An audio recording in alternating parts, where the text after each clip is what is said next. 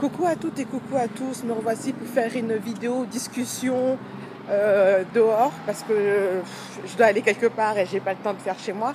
Donc je vous reviens au sujet de la controverse euh, de l'interview de Curly Nikki, de Water Lily, je sais plus le nombre, son nombre par la suite, qui était qui est une youtubeuse euh, de type caucasienne, qui a des cheveux de type 3.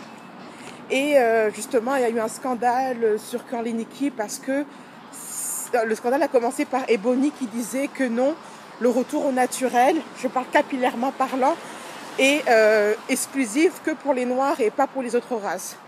Je ne sais pas depuis combien de temps euh, être blanche ou être euh, latino ne fait pas de toi quelqu'un de naturel. Pour moi, le retour au naturel, c'est toujours une question de revenir à ses cheveux naturels, leur texture naturelle. Et pour moi, texture naturelle, c'est peu importe que ça soit frisé, crépus, euh, ondulé. Et euh, franchement, moi j'étais vraiment choquée par euh, ce, cette, cette, affaire. Je trouve que personnellement, c'est l'effet extrême de, de Juicy. Vous allez dire encore cette histoire de Juicy Bah oui, parce que c'est la première à parler de discrimination au niveau de type 4C. Et maintenant, on a l'effet inverse, c'est-à-dire maintenant, tout ce qui n'est pas crépus ne fait pas partie de la communauté naturelle, capillairement parlant. Moi, j'ai jamais compris et j'ai jamais pensé que le retour au naturel, c'était une question de race. Je me rappelle bien, ça fait 7 ans que je suis naturelle et on parlait de, de, sur boucle et coton, moins sur cheveux ébène, mais plus sur boucle et coton, de tout type de, de texture, de tout type. Sur boucle et coton, il y avait tout type de texture et il n'y avait pas de cette discrimination. Ah, toi, tu as, les cheveux crépus, je te mets de côté. Toi, tu as les cheveux de type frisé, je te mets sur le côté. Toi, tu as les cheveux ondulés, je te mets sur le côté. Il n'y avait pas ça sur boucle coton. Vraiment pas ça. Tout le monde, chaque texture était euh, euh, entre parenthèses, en harmonie. Les, les, les conseils, c'était aussi bien pour euh, les frisés, les ondulés, les crépus. Enfin bref, je je comprends pas ce, ce... enfin c'est vraiment moi je trouve que c'est vraiment l'effet Juicy mais vraiment euh, à l'inverse quoi les, les, les, les, filles de type euh, crépus se plaignaient d'être discriminées. Maintenant, c'est elles qui veulent discriminer les autres parce que elles considèrent que le retour au naturel devrait être que pour les noirs et que pour les personnes qui ont des cheveux crépus. À ce que je sache, c'est pas la race qui détermine le type de texture que vous allez avoir. Le, l'exemple concret que je peux vous donner, c'est Chili de TLC, qui est une afro-latino.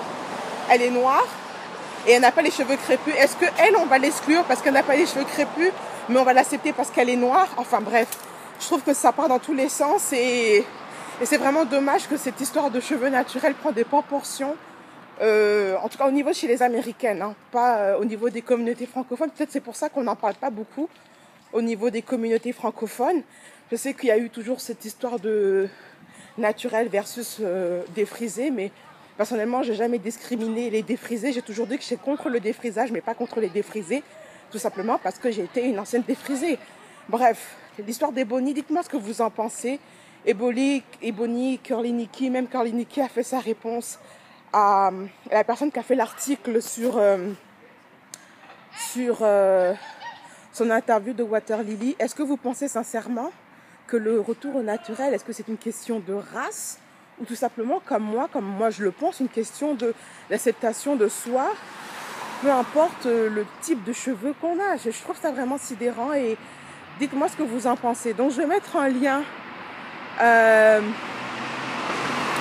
l'interview de euh, sa réponse. Et euh, franchement, je... Écoutez, franchement, je ne comprends pas. C'est je sais que c'est très lié avec son histoire américaine et tout ça, l'histoire américaine et tout. Mais ici, je sais qu'il y a une américaine qui me suit, qui est French D, si je, le, si je dis bien ton, pseudo. Dites-moi ce que tu en penses. Est-ce que c'est lié par rapport à son histoire que les Afro-Américaines se comportent comme ça ou c'est tout simplement parce qu'elles ont envie de faire chier le monde, concrètement?